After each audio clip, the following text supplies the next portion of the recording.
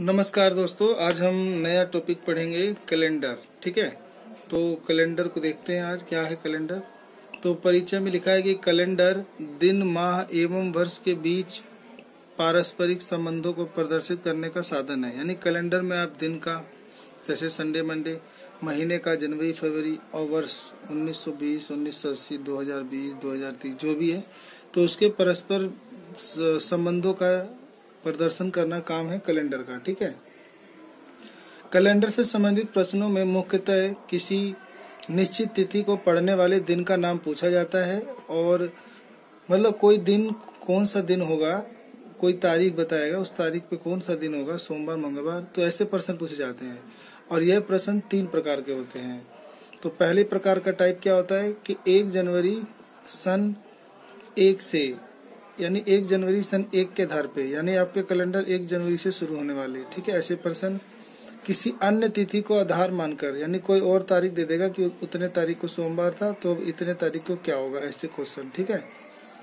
तीसरा होता है कि दो या दो से अधिक व्यक्तियों द्वारा दी गई जानकारियों के आधार पर कोई निश्चित दिन या तिथि को ज्ञात करना। तो इस तरह के तीन क्वेश्चन होते हैं, जिसमें क्वेश्चन सीधा एक जनवरी से शुरू होते हैं और दूसरा होता है किसी और तारीख से शुरू होते हैं। तीसरा होता है कि दो या तीन व्यक्ति कुछ जानकारी देंगे कि तुम्हारा जन्मदिन इतने इतने दिन के इतने बीच में था, दूसरा आदमी कहेगा, नहीं, इतने इतने के बीच में था। तो उन दोनों के निष्कर्ष के आधार पे हम कॉमन तिथि पता करते हैं और उसका सही जन्मदिन पता करते हैं, ठीक है? तो इस वीडियो में हम आगे उसको भी ज़रूर देखेंगे, ठीक है? आप इसको छोड़े ना। इस वीडियो को पूरा देखिए, आपका सारा कैलेंडर के डाउट क्लियर हो जाएँगे, ठीक है? तो पहला टाइप करेंगे आज, एक जनवरी सन एक को आधार मानकर जो प्रश्न होते हैं। इसमें यह माना जाता है कि एक जनवरी सन एक को सोमवार था तो ऐसे प्रश्नों को निम्न प्रकार से हल करते हैं। इसमें वर्ष का, इसमें वर्ष का एक जनवरी को प्रारंभ होना और इकतीस दिसंबर को अंत होना माना जाता है।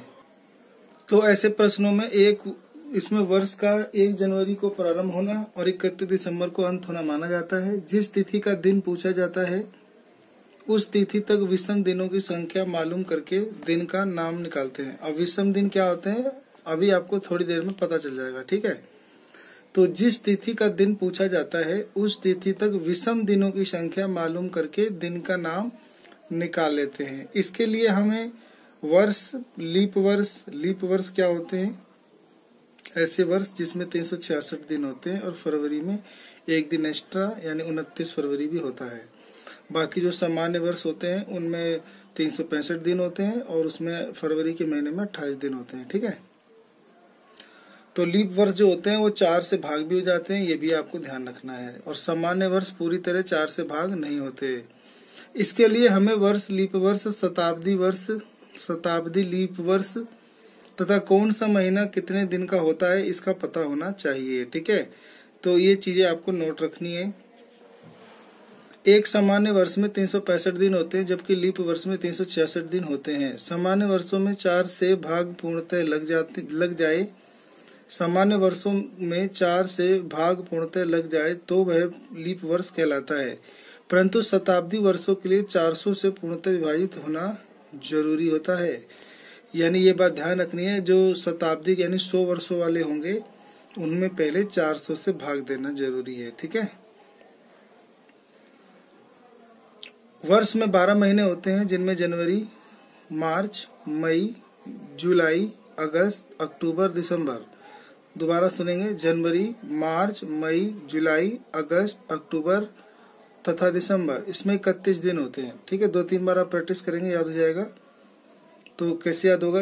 J M M J A O D ठीक है? ऐसे आप याद कर सकते हैं। जे जनवरी एम मार्च एम मई जे जुलाई ए अगस्त, और ओ अक्टूबर, और डी दिसंबर, ठीक है? तो J M M J A O D तो इनमें इकतीस दिन होते हैं। ऐसे अप्रैल, जून, सितंबर, नवंबर, इसमें तीस दिन होते हैं, ठीक है? और फरवरी में लिखा है, सामान्य वर्ष में अगर फरवरी होगा तो 28 दिनों का, और अगर वो लीप वर्ष हुआ तो उनतीस दिनों की फरवरी होगी, ठीक है? अब सवाल ये उठता है कि सामान्य लीप वर्ष में विषम दिन किस तरह निकाला जाए? विषम देखो, जो कैलेंडर वाले क्वेश्चन होते हैं, इसमें विषम दिन निकालना ही होता है।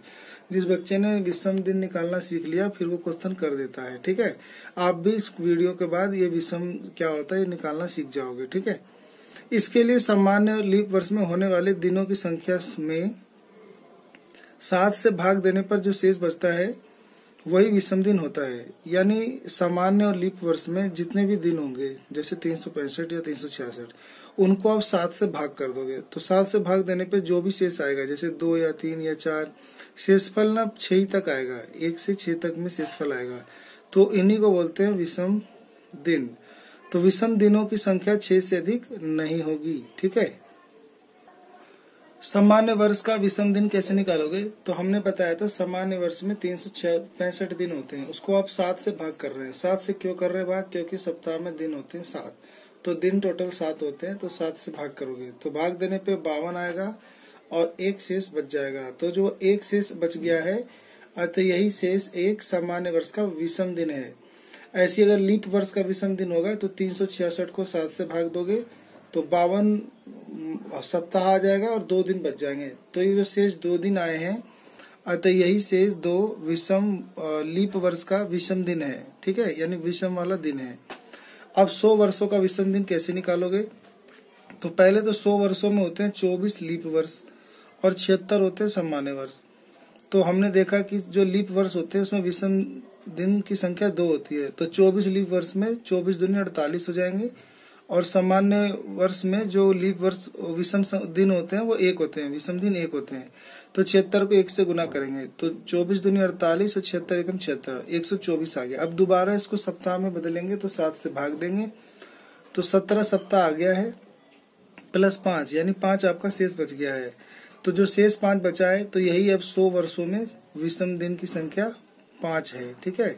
तो सौ वर्षो में विषम दिन जो है वो पाँच होते हैं, आप ऐसे याद भी रख सकते हैं, ठीक है?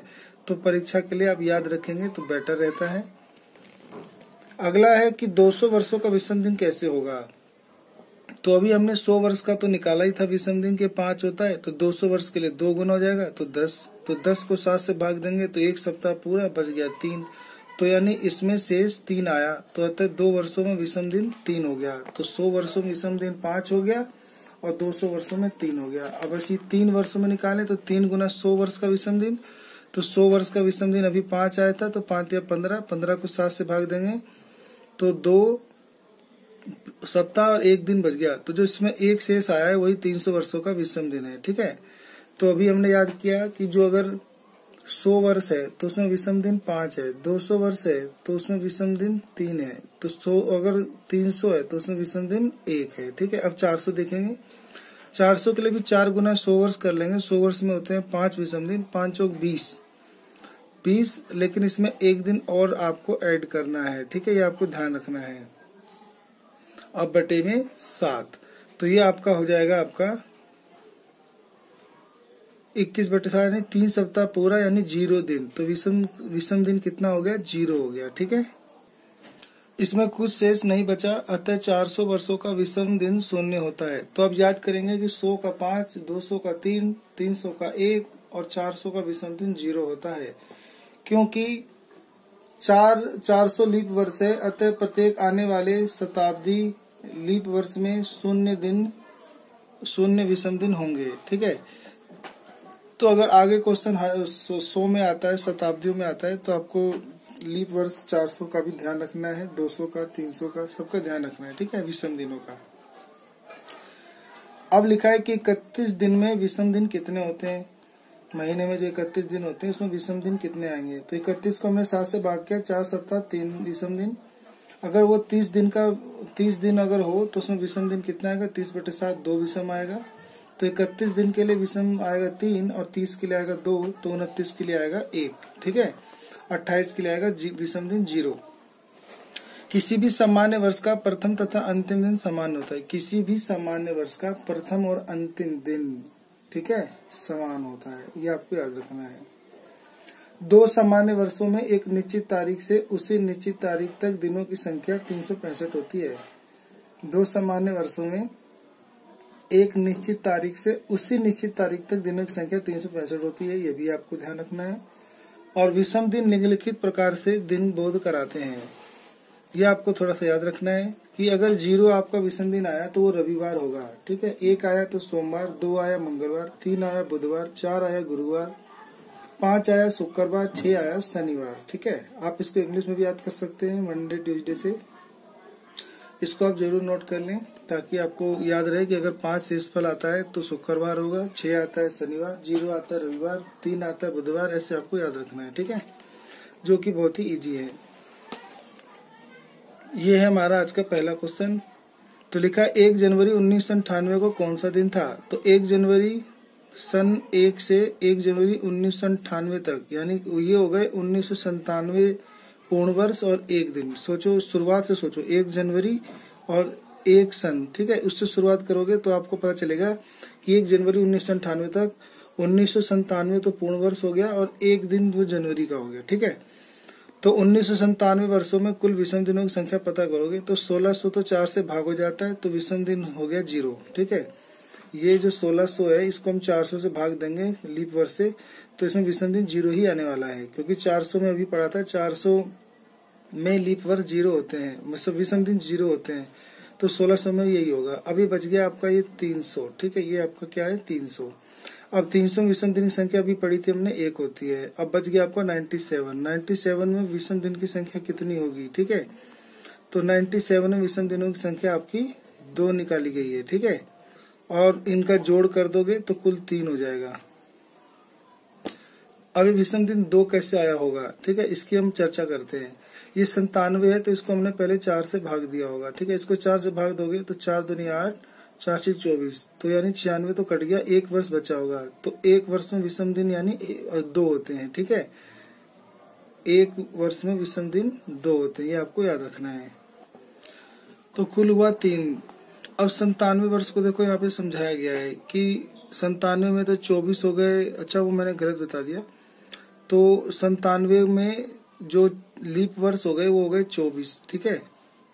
और तिहत्तर बच गए शेष, क्योंकि तिहत्तर चौबीस होते हैं संतानवे। अब लीप वर्ष में होते हैं दो विषम तो चौबीस दुनिया अड़तालीस, और ये हो जाएगा तिहत्तर, और सामान्य वर्ष में होते हैं एक विषम दिन, तिहत्तर एकम तिहत्तर। अब दोनों जुड़ जाएगा एक सौ इक्कीस। अब एक सौ इक्कीस को सात से भाग दोगे तो आपको मिलेगा सत्रह सप्ताह और दो विषम दिन। तो इकतीस दिसंबर उन्नीस तक तीन विषम दिन हो गए, ठीक है? तो एक जनवरी सन उन्नीस सौ अठानवे तक कुल विषम दिन हो गए, एक और बढ़ गया चार। तो वृत्तीय पाई चार्ट में जो चार था, वो गुरुवार के लिए इस्तेमाल था तो अतः एक जनवरी उन्नीस अंठानवे को गुरुवार का दिन होगा। यहाँ पे आपको ध्यान रखना है कि जो विषम दिन आएगा, जो कि दो आया था, उसमें 31 दिसंबर की तारीख एक और जोड़ोगे तो विषम दिन तीन हो जाएगा। अब हमें एक जनवरी को पूछा था तो एक जनवरी के लिए एक दिन और बढ़ जाएगा तो विषम दिन चार हो जाएगा। और विषम दिन जो चार होगा, वो वृत्तीय वो वृत्तीय चार्ट देखा था आपने, वहाँ पे चार गुरुवार होगा, यानी थर्सडे, ठीक है? अब हम आगे पढ़ते हैं बी टाइप के क्वेश्चन। किसी अन्य तिथि को आधार मानकर, इसमें हम दिए हुए तिथि से पूछे गए तिथि तक के दिनों में विषम दिनों की संख्या मालूम कर, दिनों का, यानी दिन का नाम निकालते हैं। और दिए हुए तिथि को जो दिन पड़ता है, उसे विषम दिनों की संख्या में, संख्या को जोड़ने पर जो दिन पड़ेगा, वही पूछे गए तिथि का दिन होगा। इसमें हम वृत्ति चार्ट का इस्तेमाल नहीं करते। इसको समझने के लिए आप ऐसे कह सकते हैं, आपको पहले से एक तारीख दे देगा और उस तारीख को कोई कह देगा कि ये सोमवार है या मंगलवार जो भी है। फिर आपको एक और तारीख दे देगा, कहेगा, उस दिन बताओ वो सोमवार है, मंगलवार है या कौन सा दिन है। तो इसके अंदर पहले से यह क्वेश्चन दिया होता है। आप विषम संख्या पता करेंगे और जो दिन बोला है, उसमें हम वो विषम संख्या जो है, वो जोड़ के उसका दिन पता कर लेंगे। ठीक है, इस एग्ज़ाम्पल से आपको क्लियर होगा। चार जनवरी उन्नीस सौ पिचानवे। चार जनवरी उन्नीस सौ पिचानवे को गुरुवार है तो चार जनवरी उन्नीस सौ छियानवे को कौन सा दिन होगा? तो चार जनवरी उन्नीस सौ पिचानवे से चार जनवरी उन्नीस सौ तक विषम दिनों की संख्या पता करोगे। ठीक है? तो जनवरी का विषम दिन कैसे आया होगा? छ देखो, जनवरी होता है इकतीस दिनों का, ठीक है? इकतीस दिनों में चार जनवरी तो पूरा हो गया। तो बचा होगा कितना? सताइस अब उस सताइस को आप सात से भाग दोगे तो सात इक्कीस बच गया छह। तो विषम दिन हो गया जनवरी में छह। फरवरी, क्योंकि लीप वर्ष है क्योंकि लीप वर्ष तो है नहीं है उन्नीस तो इसीलिए हमने फरवरी का विषम दिन ज़ीरो लेना है। अगर ये लीप वर्ष होता तो विषम दिन एक ले लेते, ठीक है? क्योंकि फरवरी अट्ठाईस दिनों का ही होगा, अट्ठाईस को सात से भाग करेंगे तो ज़ीरो। सामान्य वर्ष में फरवरी में अट्ठाईस दिन होते हैं। मार्च में अब इकतीस होता है, इकतीस को दोबारा आप सात से भाग दोगे तो बचेगा तीन, ठीक है? क्योंकि इकतीस को जब चार से भाग दोगे तो अट्ठाईस तो हो जाएगा, लेकिन तीन बच जाएगा तो तीन विषम दिन। ऐसे अप्रैल में दो, मई में तीन, जून में दो, फिर तीन तीन, दो तीन दो तीन और जनवरी में विषम दिन। क्योंकि जनवरी में वही चार तारीख तक पूछा था तो चार और जोड़ देंगे जनवरी का, ठीक है? चार जनवरी तक पूछा था तो छत्तीस हो गए विषम दिन। अब छत्तीस को सात से भाग देंगे, पाँच प्लस एक। क्योंकि शेष फल एक आया है तो चार जनवरी उन्नीस सौ छियानवे को गुरुवार के एक दिन के बाद शुक्रवार आ जाएगा। क्वेश्चन में गुरुवार दिया था विषम दिन एक आया तो गुरुवार में एक जोड़ देंगे तो शुक्रवार। तो यानी हमारा आंसर हो जाएगा कि शुक्रवार का दिन था। ठीक है, इसमें दूसरा मेथड भी लिखा है समय बचाने के लिए कि चार जनवरी उन्नीस सौ पिचानवे, चार चार जनवरी उन्नीस सौ पिचानवे से चार जनवरी उन्नीस सौ छियानवे तक कुल दिनों की संख्या है। तो पहले इसमें सीधा बचे हुए दिन गिन लिया है सत्ताईस, अट्ठाईस, इकतीस, तीस तीस, सब महीने के दिन जोड़ लिया। तीन सौ पैंसठ हो गया, सात से भाग दिया तो ये हो गया बावन प्लस एक। ठीक है? यानी एक विषम दिन आ गया।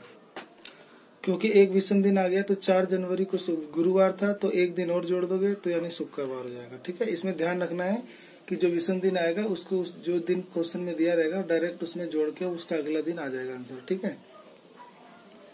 इसमें पाई चार्ट का यूज़ नहीं करना है यह भी ध्यान रखना है। अब हम तीसरा टाइप करेंगे कि दो या दो से अधिक व्यक्तियों द्वारा दी गई जानकारी के आधार पर कोई निश्चित दिन या तिथि को ज्ञात करना। किसी व्यक्ति के बारे में निश्चित समय या अंक का सही मान उन व्यक्तियों के कथन से निकालना होता है। इसमें व्यक्तियों के उभयनिष्ठ मान ही, यानी जो कॉमन वाला डेट आएगा या कॉमन वाला जो मान आएगा, उसका ही, वही आपका अभिष्ट उत्तर होगा, प्रश्न का उत्तर होगा। शताब्दी को याद है, ये किसी आदमी का नाम है। शताब्दी को याद है कि अफनान की जन्म तिथि 25 मई के बाद और लेकिन 30 मई के पूर्व है। परंतु उसके पिता को याद है कि अफनान का जन्म तिथि 28 मई के बाद लेकिन 31 मई से पूर्व यानी पहले है। बताओ कि अफनान की जन्म तिथि क्या है? अट्ठाईस उनतीस तीस इनमें से कोई नहीं। हम हल देखेंगे आपको उत्तर समझ में आ जाएगा। तो शता, शताब्दी के अनुसार अफनान की जन्म तिथि 26 से कितना ले लेंगे? उनतीस। और उसके पिता के अनुसार उनतीस से तीस ले लेंगे। क्वेश्चन में यही कहा था ना कि अट्ठाईस और इकतीस के बीच तो अट्ठाईस और उनतीस और तीस दिन बचता है। और उसने कहा था शताब्दी में पच्चीस और तीस के बीच तो पच्चीस और तीस के बीच कौन कौन सी तारीख आती है? छब्बीस, सत्ताईस अट्ठाईस उनतीस। अब इनमें कॉमन कौन सी तारीख है? तो देखोगे आप तो उनतीस और ये उनतीस ही कॉमन है, बाकी कोई कॉमन नहीं है। तो दोनों के कथनों में जो तारीख निष्ठ होगा, वही निश्चित तारीख अफनान की जन्म तिथि, यानी डेट ऑफ़ बर्थ है, वही सही तारीख मानी जाएगी। तो अफनान की जो जन्म तिथि है, वो इन दोनों के हिसाब से उनतीस मई बता रही है। तो ऑप्शन नंबर दो सही है आपका, ठीक है?